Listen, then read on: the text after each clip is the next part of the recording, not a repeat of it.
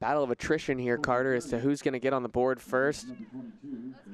Robert Morris, who started off with a lot of offensive opportunities, hasn't had a lot of great opportunities as of lately, but we'll see if that's going to change as we got open space here for the Colonials.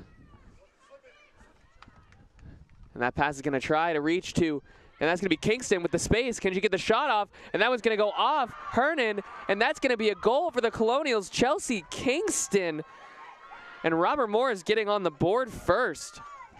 And a nice play by Kingston right there. I think that's her first. And that is her first goal, goal. of the season, her first collegiate goal. That is Yeah. correct. So Kingston getting the chance and the opportunity. Huge play there for the Colonials. Yeah, all of a sudden a lot of space opened up for the Colonials and Courtney Graham with it, who loses it. And that one ends up with Kaylee Clock. Clock trying to find some space here, getting past the defenders through the legs of Sunam and to hurry.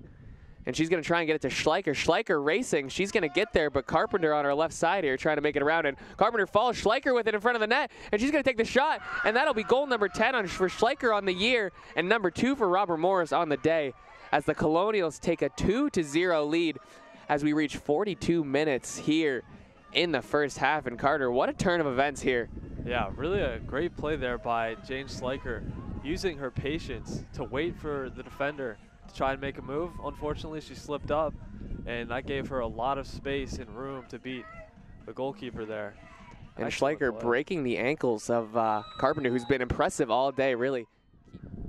Sudom trying to get to McGee. McGee trying to get something to happen here and gets a foot on it, but that one's just going to sky high and right into the hands of Bruckner. Trying to get anything to go here. And as the clock winds down, it'll hit zero, and that'll do it here at the North Athletic Complex. Robert Morris ending their three-game losing streak and St. Francis ending their four-game unbeaten streak, which was the second longest active streak in the conference. Robert Morris with the big conference win as they walk away from this one victorious 2 to 0.